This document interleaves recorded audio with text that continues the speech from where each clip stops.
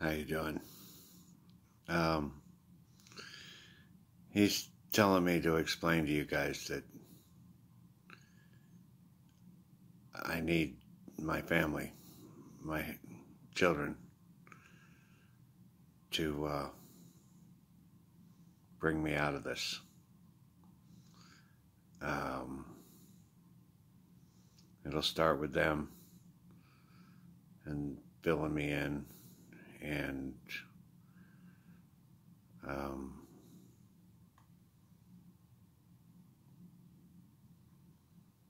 they want or they uh,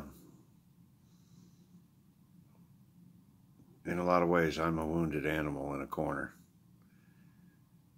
I uh, this is something that you guys can barely understand but he will uh,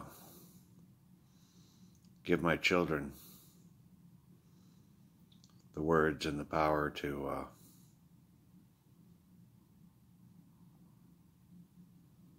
to handle this.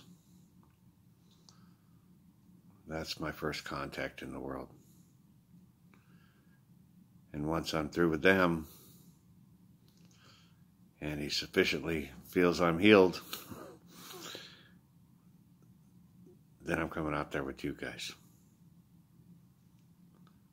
But I've been denied my children too long.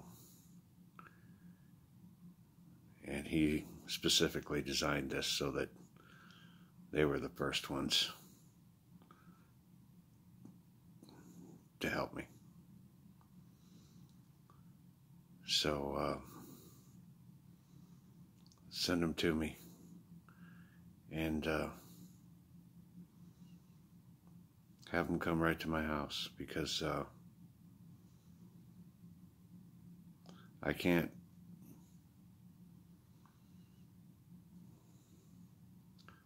I need help. I uh,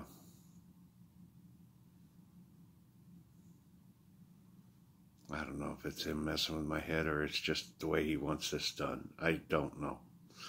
But that's the message I'm supposed to pass on. And so, uh, I guess it is our steps. It's part of the script, is what he's saying. So, uh, I have done that. So, I'll talk to you tomorrow.